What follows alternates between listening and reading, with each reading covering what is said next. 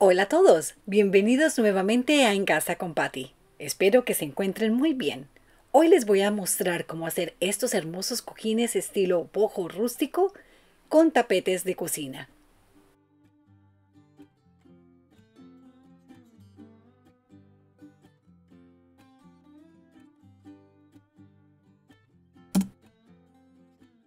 Para hacer estos cojines voy a utilizar estos tapetes que encontré en la tienda del Dollar Store, pero si ustedes no pueden encontrar este tipo de material, pueden usar tela de burla o arpillera.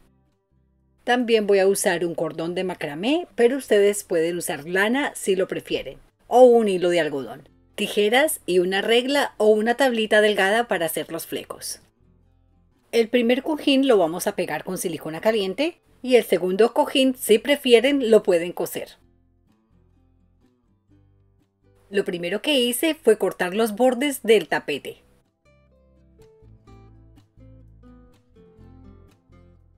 Doblé el tapete por la mitad y lo dividí en dos.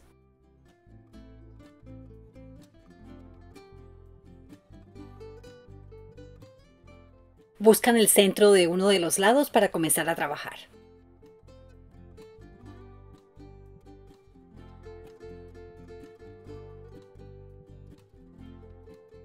Para hacer estos flecos que les voy a mostrar, pueden usar el diseño que les estoy mostrando o pueden hacer el diseño que ustedes deseen. Yo hice un cuadro de papel para que me quedara con las medidas exactas y el centro de ese cuadro lo puse sobre el centro del material y lo dibujé sobre la tela.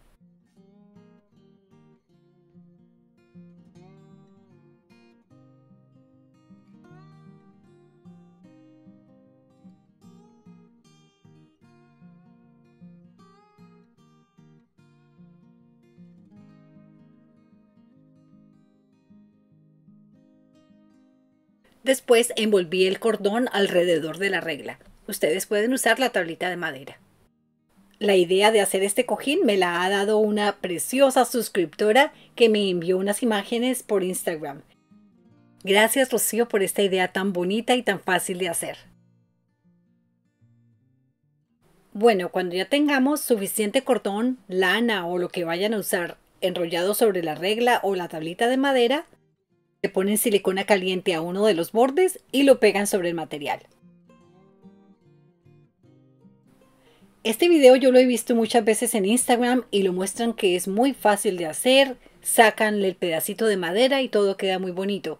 Pero la verdad es que yo no pude hacerlo de esa forma.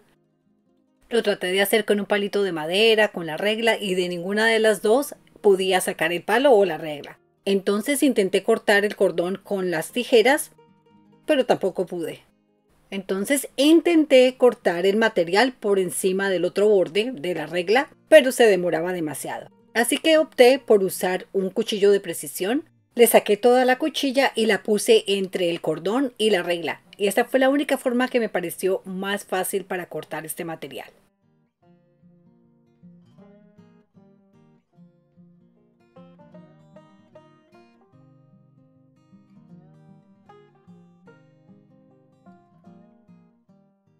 Ya después de que puedan hacer esta parte, el resto es muy simple.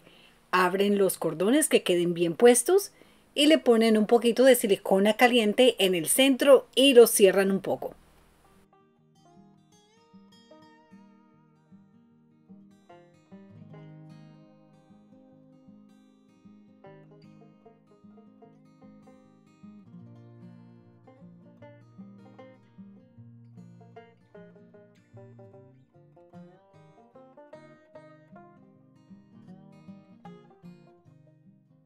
Cuando ya se seca la silicona pueden despeinar los flecos para que no se vea el pegante. Bueno y eso es todo. Ahora si desean hacer el diseño que yo hice, marcan un punto entre el centro del cuadro y el fleco. Lo hacen en la parte de arriba y en la parte de abajo, así como ven en el video. Después van a trazar dos líneas que salgan del punto de arriba hasta las esquinas del material. Lo mismo hacen con el punto que está en la parte de abajo.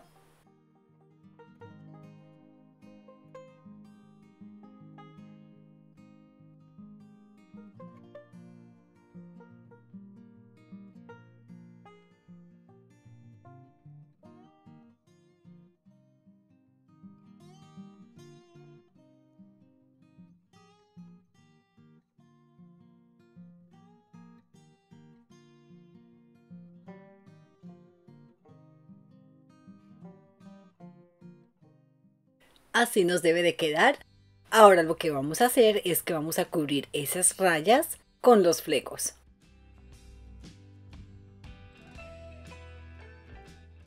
Para este cojín también voy a usar los bordes que le corté al tapete, los bordes de flecos, y se los voy a poner a los lados.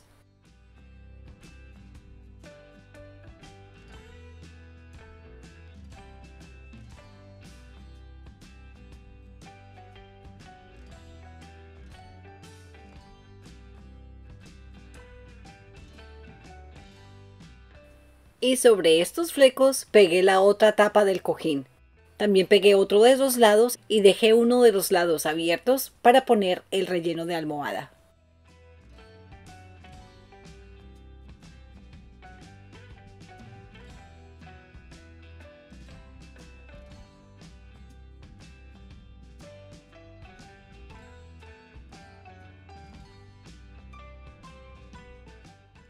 Lo volteamos al derecho, le ponemos el relleno de almohada y lo cerramos.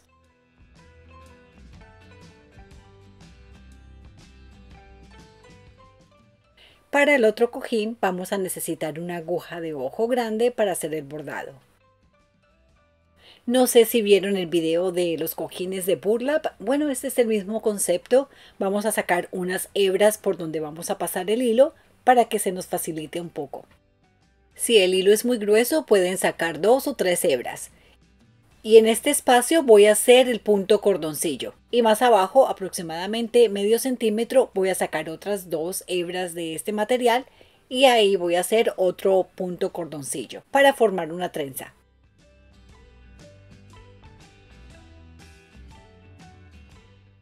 O si prefieren, sacan varias hebras y sobre este espacio hacen los dos puntos cordoncillos para formar la trenza.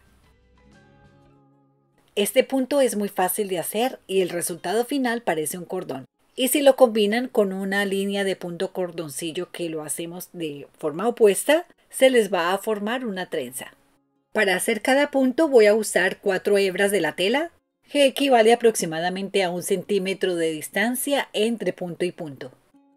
Vamos a pasar la aguja de derecha a izquierda a través de dos hebras de la tela. Nos devolvemos Contamos cuatro hebras que son las que equivalen aproximadamente a un centímetro.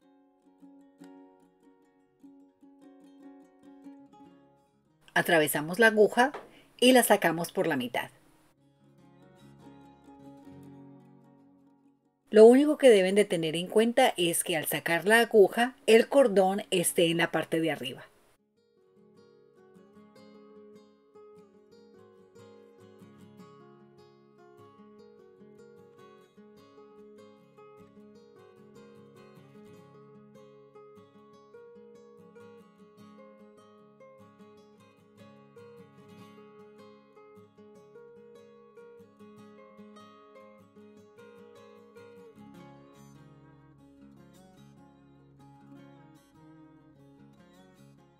Así queda terminado el cordón. Si lo desean usar así, está muy bien. Pero si desean hacer la trenza, entonces vamos a hacer exactamente lo mismo, pero el cordón lo vamos a poner en la parte de abajo. Así como ven en el video.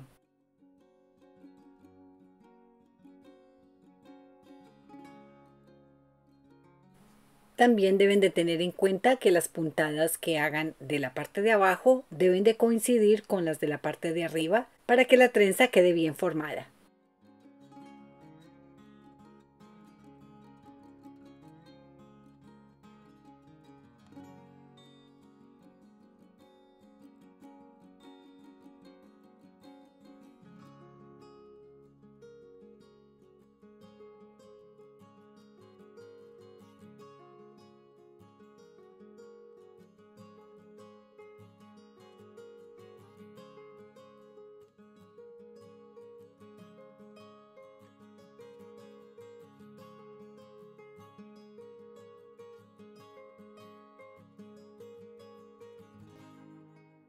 Bueno, y como les había dicho antes, pueden sacar varias hebras de este material para hacer los dos cordoncillos en el mismo espacio.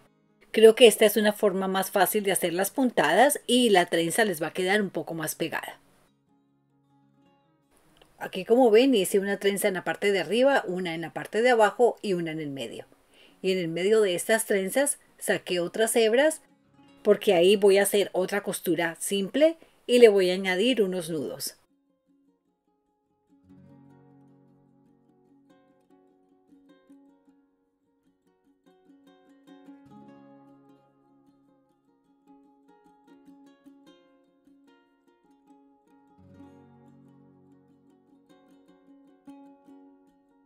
Cada vez que hagan un nudo, lo aseguran con una puntada para que no se les vaya a levantar.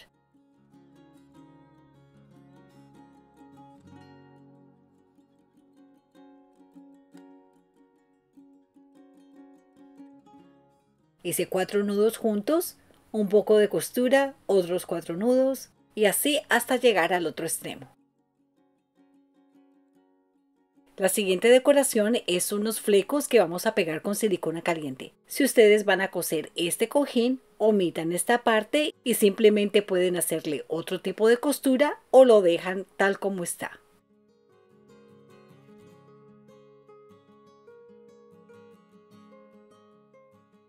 Esta decoración no solamente les va a servir para un cojín, sino que también la pueden usar para un tapiz de pared.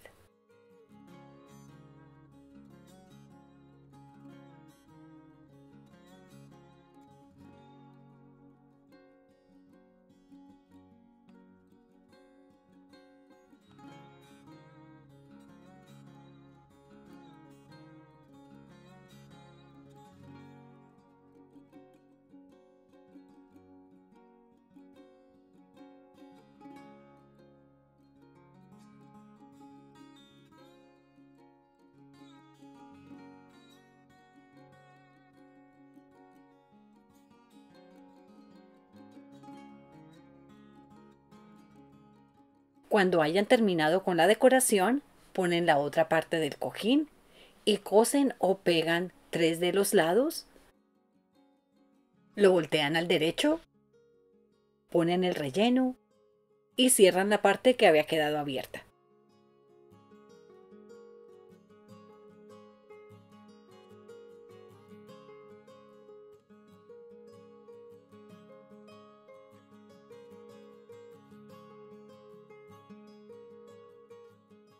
Como ven, la parte de atrás la puse al revés. Hubiera preferido que la imagen me quedara central, pero así también se ven bien. Creo que les da mucho carácter.